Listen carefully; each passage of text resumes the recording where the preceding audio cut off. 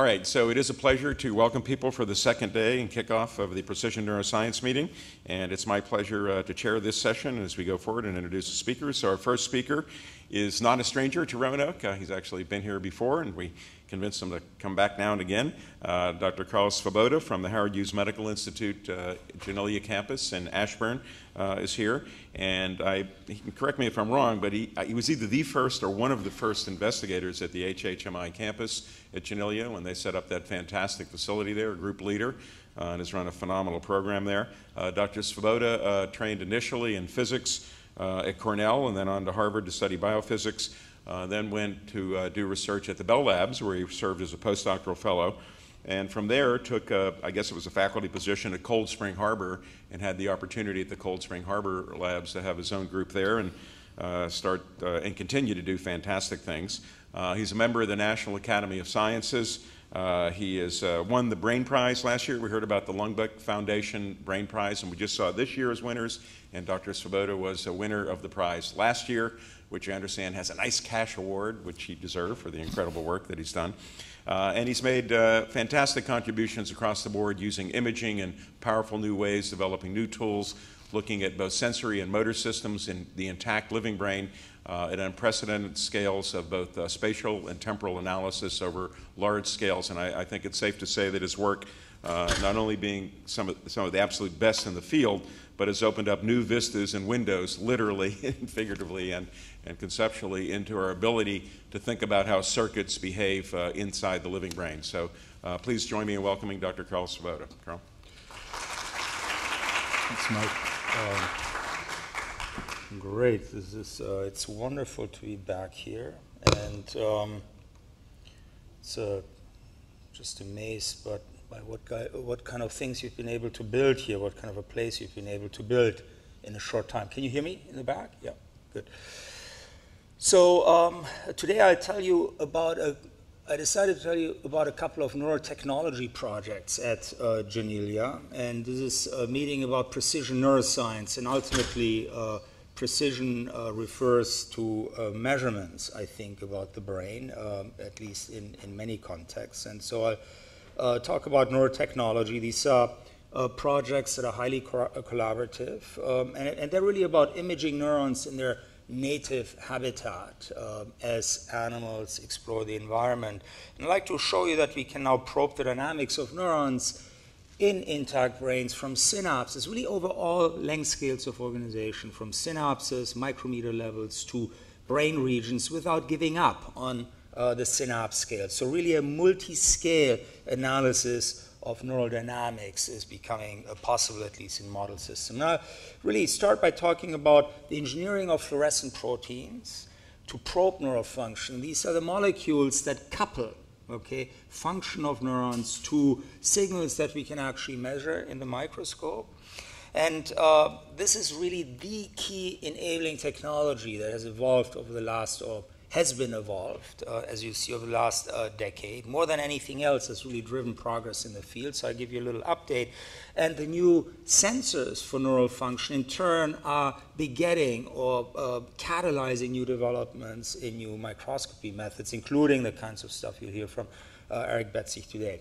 Now, given that uh, we are neighbors in Virginia, or near neighbors, uh, and both new on the scenes, I, I decided also to start off by telling you a little bit about the uh, Research uh, Center uh, that I'm part of. Okay, so we're fully funded by the Howard Hughes Medical Institute. We're about 30 miles from the White House on the banks of the Potomac River. Um, and uh, 10 miles or so from the Dulles airport, about three hours from uh, Roanoke. Uh, we opened our doors about 10 years ago We'll, uh, we actually have a bunch of celebrations later this year, 10 year anniversary. And our uh, research building, really quite a stunning structure, houses currently about 500 scientific staff. We have room for a couple hundred more, but there's no plan uh, to grow over the next couple of years.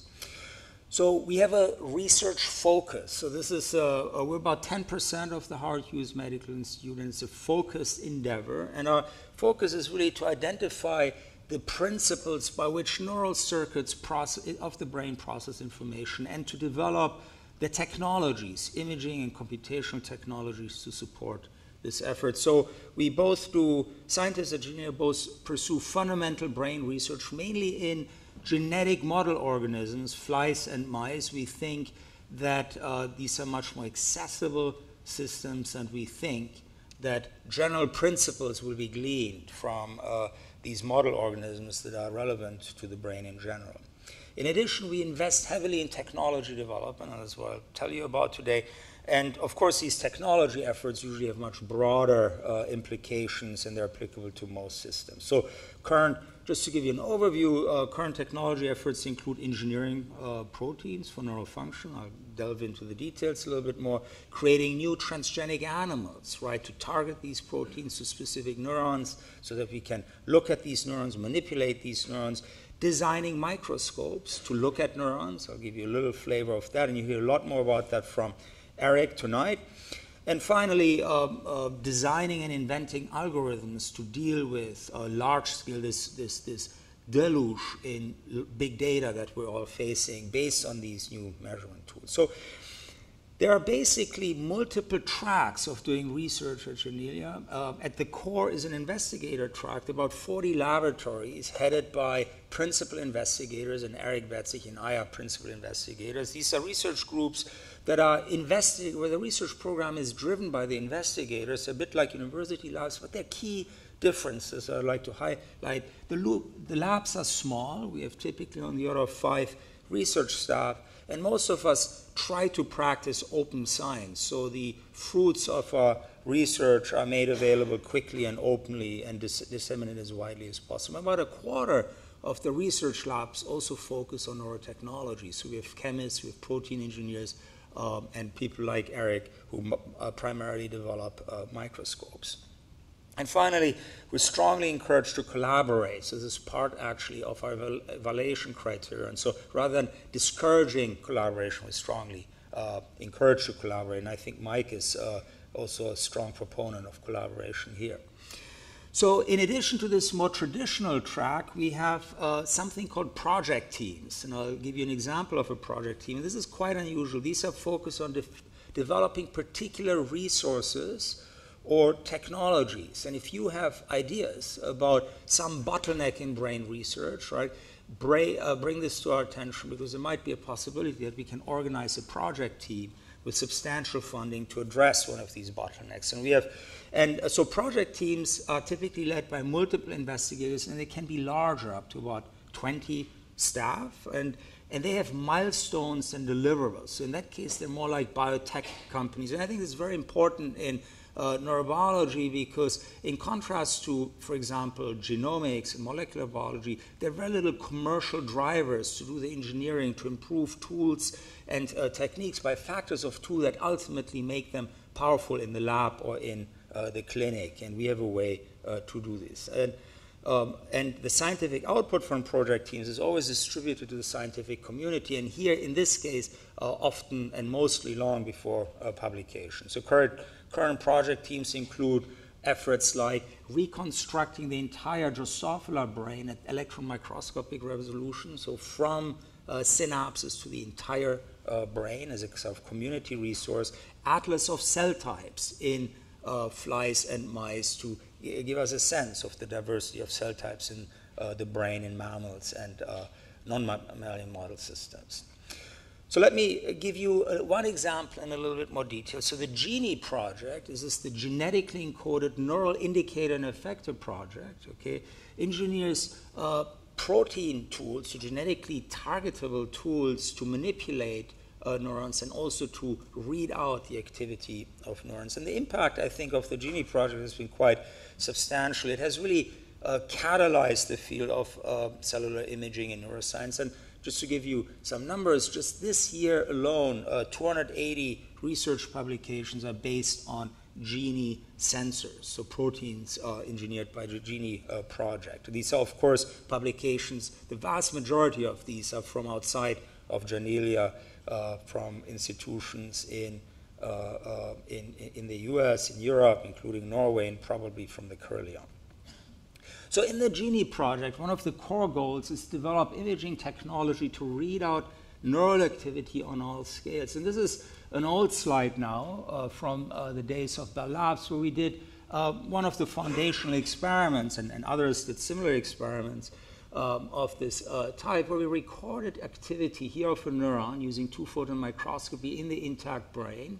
Uh, with a small pipette that impales the neuron, okay, an incredible this is an artisanal experiment, very, very difficult. Okay, um, actually, Mike did these kinds of experiments uh, many years ago now, uh, where the electrode imp- impales this neuron. And here, we were in addition able to introduce a calcium-sensitive dye in uh, to the neuron, the kind of dye that Roger Tsien uh, invented. Roger just died, but he's really the father of uh, this field of cellular uh, imaging in uh, neuroscience. And uh, you can see that when we combine imaging with measuring of spikes in this neuron, for example, when providing a sensory stimulus, there's a close correspondence between fluorescence transients in the neurons and this train of action potential. It's really a one to one correspondence because when an action potential, and even Hodgkin and Huxley knew this, when an action potential uh, goes through a neuron an axon on the cell body. It opens voltage gated channels. Calcium comes in rapidly, and this can be detected as a proxy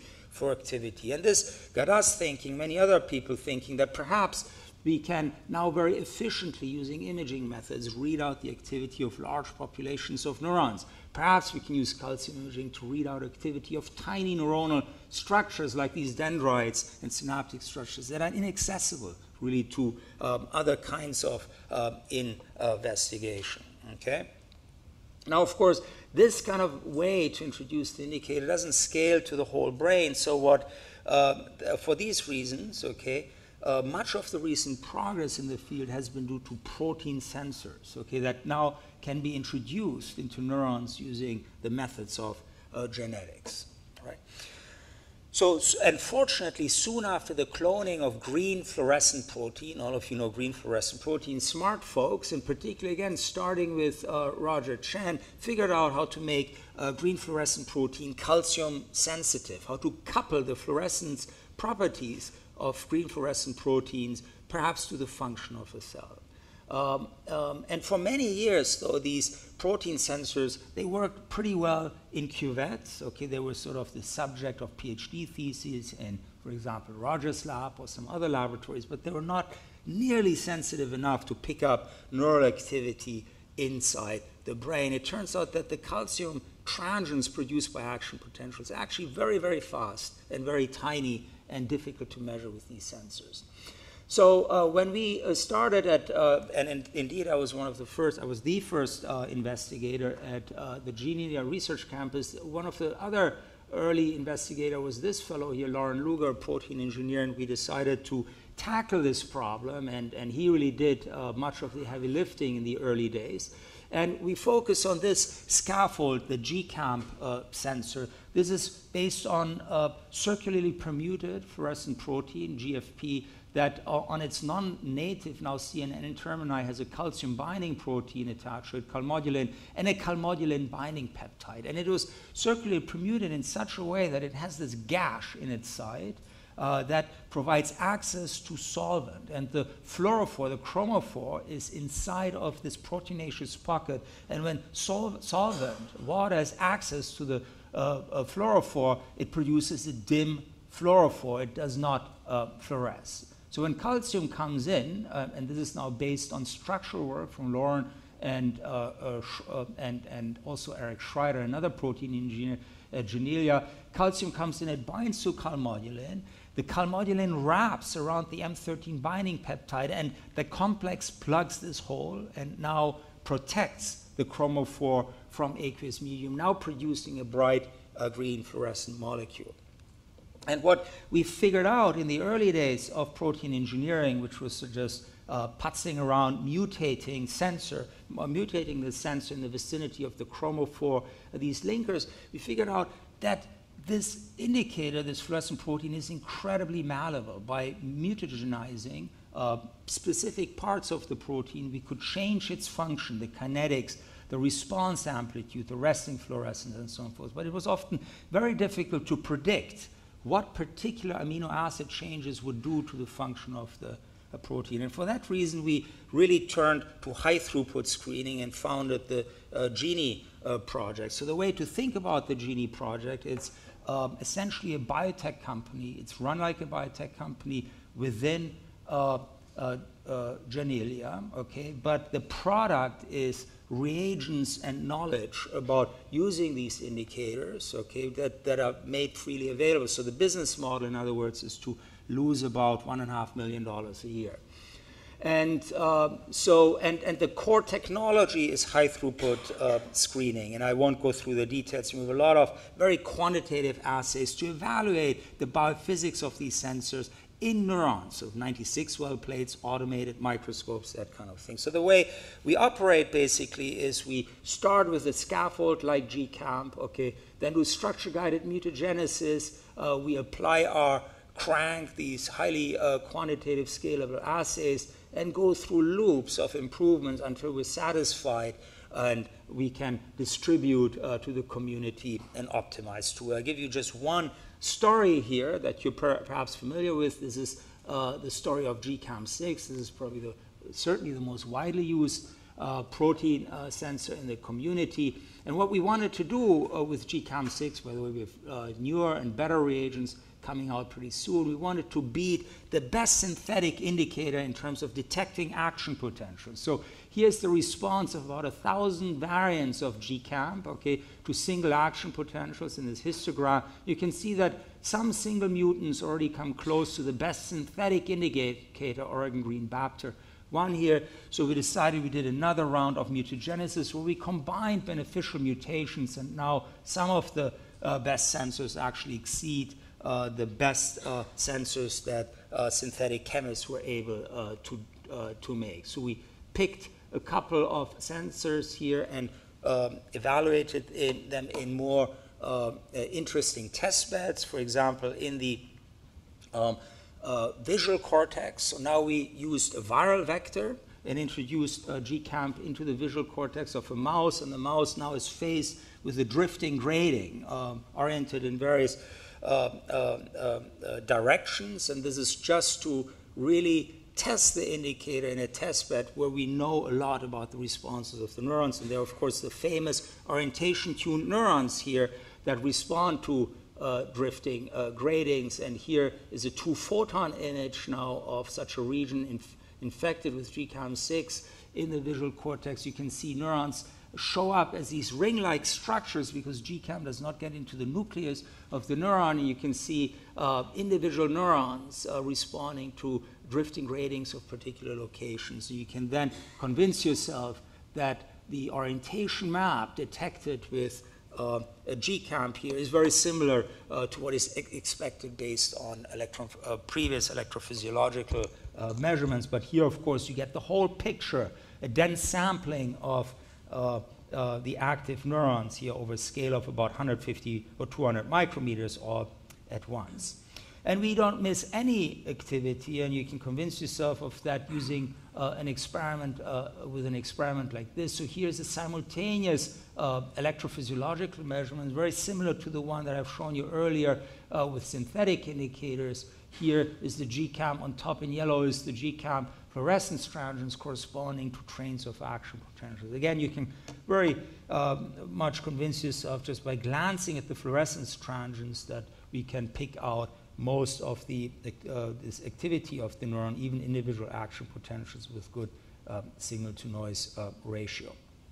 So now we're looking at the output of neurons. These action potentials, of course, radiate out the axon and into the synapses to activate other neurons. Can we now look at uh, the signals that activate uh, the neuron itself, that produce uh, this output? And indeed, we can, just to show you one example of that. So here uh, we, let's go on here, yeah.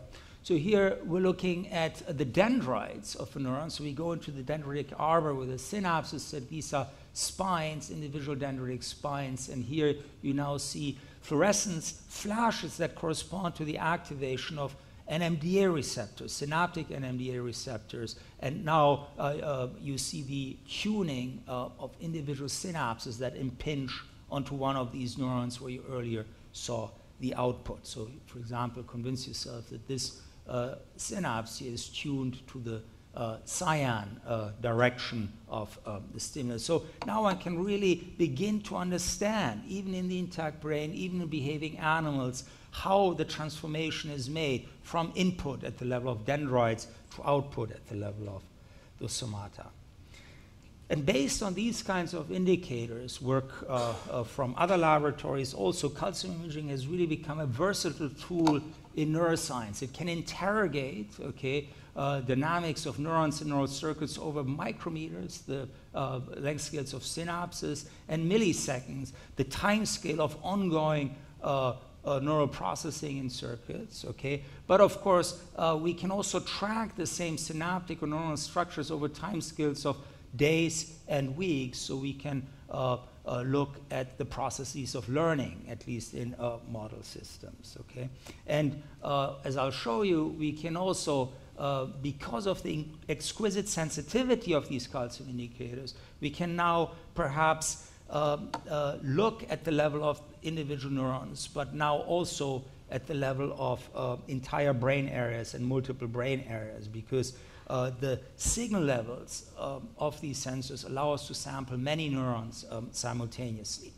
So, how do we uh, now probe? Remember that, of course, all behaviors are uh, the result of multiple uh, of dynamics in multiple brain regions, often widely distributed across the brain. And we'd like to image neural activity in many of these multiple brain regions simultaneously. How do we go about this? Well, we have to make a microscope that has a very large field of view that allows us to peer in uh, uh, over that has a field of view that spans multiple uh, brain regions. So here is uh, an image of the mouse brain, uses somatosensory cortex, frontal, so premotor cortex, motor cortex. We'd like to see um, at least a sensory and motor area simultaneously. Yet we want to keep the resolution that allows us to sample individual neurons. We want to report and characterize activity at the level of individual neurons. And there's, there's this tension in microscopy. Either you have very high resolution, which usually comes with a tiny field of view, or you have a large field of view, like in a microscope,